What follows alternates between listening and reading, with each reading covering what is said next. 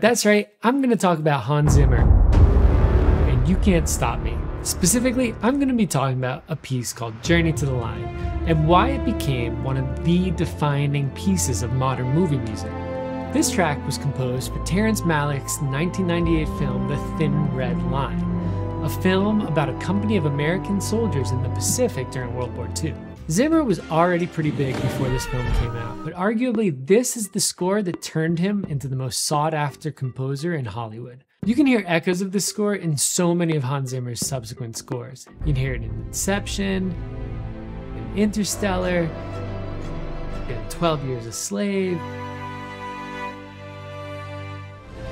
It became super common as a piece of trailer music. December 7th. But why? Why did this song end up launching the sound of a generation?